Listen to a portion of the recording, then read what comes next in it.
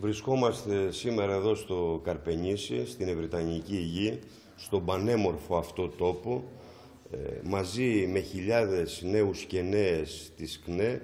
ε, για να γιορτάσουμε, να διασκεδάσουμε, να γνωρίσουμε την Ευρυτανία, τις ομορφιές του τόπου, αλλά και την μεγάλη ηρωική ιστορία αυτού του τόπου των προγόνων μας. Είναι προσφορά ζωής για το παρόν και το μέλλον, εκ μέρους των κομμουνιστών του ΚΚΕ και της ΚΝΕ, γιατί η νέα γενιά πρέπει να μαθαίνει την ιστορία, αλλά και να ζει μέσα στο όμορφο αυτό φυσικό περιβάλλον, στον καθαρό αέρα, στα έλατα και να επισκέπτεται συνεχώς το Καρπενήσι και την Ευρετανία και σε συνάχεια μετά το τέλος αυτών των πλούσιων εκδηλώσεων που γίνονται στο πάρκο του Κεφαλόβρυσου. Αυτή τη στιγμή επισκεφθήκαμε ε, το Δήμαρχο και την Περιφέρεια Στερεάς Είχαμε συνάντηση με τον κύριο Δήμαρχο ε, Καρπενησίου και με τον Αντιπεριφερειάρχη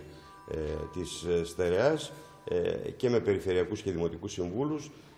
Συζητήσαμε πάνω σε αυτές τις εξελίξεις στην τοπική διοίκηση εδώ στο Δήμο Καρπενησίου και ευρύτερα στην Περιφέρεια Στερεάς και κυρίως θέλαμε να ευχαριστήσουμε την προσφορά της Δημοτικής Αρχής και της Περιφέρειας σε όλη αυτή την διοργάνωση σε αυτό το ζεστό και φιλόξενο τόπο που βρισκόμαστε.